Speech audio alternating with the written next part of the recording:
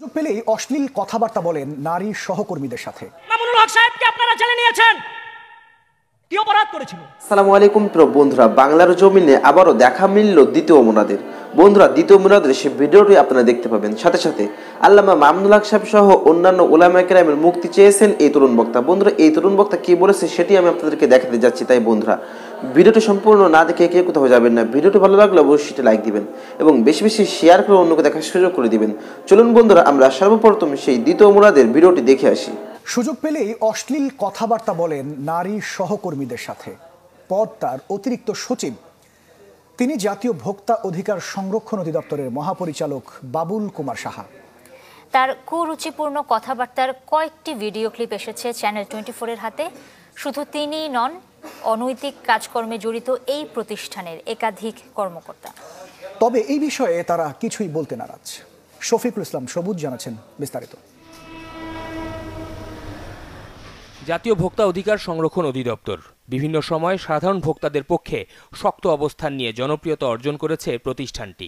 কিন্তু নিজ কার্যালয়ে বসে নারী সহকর্মীর ওপর অনৈতিক অধিকার ফলাচ্ছেন খোদ মহাপরিচালক। চলে যাওয়া তো কথা না তোমার তো আরও কাছে আসবে।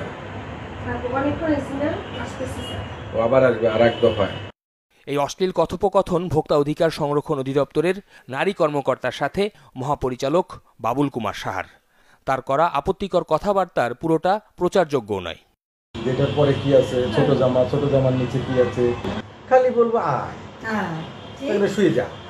ওকে শুয়ে যাবে। এমনও প্লেয়ার আছে যদি বলি যে আমার সাথে শুয়ে থাক। অবশ্য এ বিষয়ে ভয় ক্যামেরার সামনে কথা বলতে রাজি হননি ভুক্তভোগীরা। আর নিজের অশ্লীল কথোপকথনের অডিও ক্লিপ সম্পর্কে জানতে চাইলে উত্তেজিত হয়ে ওঠেন ওই মহাপরিচালক। অডিও ক্লিপগুলো শুনবেন? আমার এটা শোনার দরকার নেই আপনি দয়া করে গেলে আমি খুব খুশি হই ঠিক আছে? সরি আমি আমি আপনি ইন্টারনাল করুক এক্সটার্নাল করুক, আপনাকে যে দিয়েছে, আপনি তার সঙ্গে কথা বলুন। আমার সাথে না। প্রতিষ্ঠানের প্রধানের যখন এই অবস্থা, তখন অধস্তন দু একজন কর্মকর্তাও পিছিয়ে নেই এই কাজে। দুই হাজার উনিশ সালের অক্টোবর থেকে দুই হাজার বিশ সালের মার্চ পর্যন্ত এক নারী উপপরিচালকের কল লিস্ট ও এস এম এর তালিকা চ্যানেল টোয়েন্টি ফোরের হাতে, যেখানে পরিচালক পদমর্যাদার বর্তমান ও সাবেক কর্মকর্তাদের সাথে ওই নারীর অনৈতিক সম্পর্ক ও আর্থিক লেনদেনের প্রমাণ মেলে। তবে টেলিফোনে যোগাযোগ করা হলে কথা বলতে রাজি হননি তারা কেউই। বাণিজ্য মন্ত্রণালয়ের অধীনে দুই হাজার এগারো সালে যাত্রা শুরু করে ভোক্তাদের অধিকার রক্ষায় সরকার গঠিত এই অধিদপ্তর। বন্ধুরা এই দ্বিতীয় মুরাদকে নিয়ে আপনার কি মতামত অবশ্যই কমেন্ট বক্সে জানাবেন। চলুন বন্ধুরা এবার আমরা দেখেছি এই তরুণ বক্তা কি বলেছে। এক মামুনুল হক সাহেবকে আপনারা জেলে নিয়েছেন। কি অপরাধ করেছিল? আল্লামা খালেদ সৈফুল আইয়ুবী হুজুরকে আপনারা জেলে নিয়েছেন। কি অপরাধ করেছিল? মাহমুদুল হাসান গুনুবিকে জেলে নিছেন। কি অপরাধ করেছিল? আমাদের হক্কানি ওলামা কি অপরাধ করেছিল? অপরাধ তো এতটুকু করেছিল, ইসলামের বাণী মানুষের কাছে, উম্মতের কাছে ব্যথা নিয়ে বলছিল। এটাই কি অপরাধ? এটা যদি অপরাধ হয়, মনে রাখবেন আপনি প্রধানমন্ত্রী হয়েছেন, আপনার ক্ষমতায় হন নাই, যে কোনোভাবেই হোক, আল্লাহ আপনাকে বসাইছে। আপনারা মন্ত্রী মিনিস্টার হয়েছেন আপনাদের ক্ষমতায় হন নাই, আল্লাহ আপনাকে যে কোনো ভাবেই হোক বসাইছে। কাল হাসরের ময়দানে আল্লাহ আপনাকে প্রত্যেকটা নিয়ামত সম্পর্কে জিজ্ঞেস করবে। আলেমদের হাতের মধ্যে হাত করা পড়াচ্ছেন, আর পরিমণিরা ঘুরা বেড়াইতেছে। আলেমদের হাতের মধ্যে হাত করাই পড়াইতেছেন, আর টাকলা মোরাদের ব্যাপারে বলেন যে আমরা এই ব্যাপারে কিছু জানি না। ও না ফরমান মনে রাখবা, আল্লাহ এখনও মারা যায় নাই। আল্লাহ এখনও জিন্দা। আল্লাহ সব দেখতেছে, আল্লাহ সব শুনতেছে। আজকে আলেমদেরকে কষ্ট দিছ, তোমাদের কষ্ট দেখার মতো কোনো মানুষ পাইবা না। মনে রাখবা, ইতিহাস কখনো শিক্ষা গ্রহণ করে না। ইতিহাস থেকে শিক্ষা গ্রহণ করো। নমরুদ আল্লাহর অস্তিত্বের মধ্যে আঘাত হেনেছিল টিকে থাকতে পারে নাই। ফেরাউন আল্লাহর অস্তিত্বে আঘাত হেনেছিল, টিকে থাকতে পারে নাই। নবী মোহাম্মদুর রসুল্লাহর অস্তিত্বের মধ্যে কুরাইশ কাফেররা আঘাত হেনেছিল, কেউ টিকে থাকতে পারে নাই। ভারত উপমহাদেশে ইংরেজরা মুসলমানদেরকে দাবাইতে চাইছিল, দাবাইতে পারে নাই। আফগানিস্তানে আমেরিকা মুসলমানদেরকে কোণঠাসা করতে চাইছিল, পারে নাই। তোমরাও এই বাংলাদেশে কয়েকজন আলেমকে ধরে আলেমদের কণ্ঠকে স্তব্ধ করতে পারবে না পারবে না পারবে না।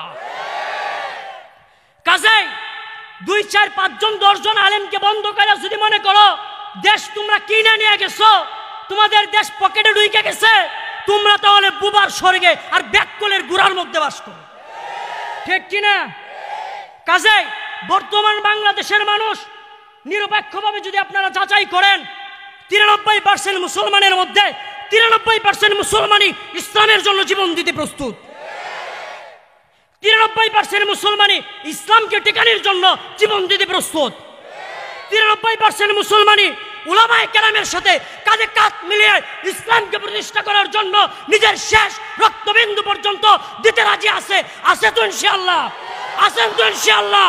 আল্লাহকে দু হাত তুলে দেখান। কাজেই মনে রাখবেন, এত সহজ না, এত সহজ না, মাঠে ময়দানে নাই না দেখেন। মাঠে ময়দানে নাই না দেখেন, ক্ষমতার শেয়ার যদি না থাকে, আমরা হুজুরা যেমনে চলি এমনি চলতে পারব। মানুষের টুকায় মেরে হলে ঠিক কিনা আসেন তো ধুমধাম লয়ে, দেখছেন না টাকলু কি বড় বড় কথা কইছে। খবিস কত বড়, খবিস কত বড়। ওলামাই কেরামকে বহসের জন্য ডাকি। এই টাকলু, তোর লোকে কি বহস করবে? তোর মুখে তো দাঁড়িয়ে নাই, মহিলা তোর মধ্যে পার্থক্যই নাই। কথা কন, এই পাগলের সাথে কে বহস করতে যায় রে? তোর লোকে বহস কি করব? তোর লোকে তো এখন ওই যে সমস্ত হিন্দু মালন রাষ্ট্র আছে, ওইখানেও তোর জায়গা দেয় না। তোর জায়গা আছে? তোর জায়গা নাই। খালি কি টাকলুর কথা? না, টাকলুর আগে যত টাকলু ছিল, সবার একই কথা। সবার একই কথা, মনে রাখবেন? মনে রাখবেন? আগের আল যেই দিকে যা পিছনের আল ওই দিকে যায়। ঠিক কিনা? বা মানে যতই মাতবুরি করেন, আল্লাহর মায়ের শেষ মাই। আল্লাহর মায়ের শেষ মাই। এই জন্য উলামায়ে কেরামের সাথে বিয়াদুবি করবেন না। উলামায়ে কেরামের সাথে যদি বিয়াদুবি করেন, কারও অস্তিত্ব থাকবে না। উলামায়ে কেরাম হলো নাই বেওয়ারিশ। এদের সাথে এগুলা করে পারবেন না। আর এটা করার কিছু কারণও আছে, একটা ঘটনা শোনে শুনবেন নি? সমস্যা তো? আচ্ছা। শুনেন, একটা ঘটনা শোনাই। ইংরেজরা যখন এই দেশ শাসন করে, তখন ওই বাবুরা ছিল না, খাজনা নিত, খেরাজ নিত, কি কয় এগুলো রে? জমিদার। এ জমিদারা চলতো কি দিয়া? হেলিকপ্টার দিয়া? গুড়ার গাড়ি বা হাতি দিয়া? ঠিক কিনা? হাতি দিয়া। বন্ধুরা, এই তরুণ বক্তার কথাগুলো আপনাদের কাছে কেমন লেগেছে অবশ্যই কমেন্ট বক্সে জানাবেন। আজকে ভিডিওটি এই পর্যন্ত। ভিডিওটি ভালো লাগলে অবশ্যই লাইক দিবেন এবং বেশি বেশি শেয়ার করে অন্যকে দেখার সুযোগ করে দিবেন। আসসালামু আলাইকুম।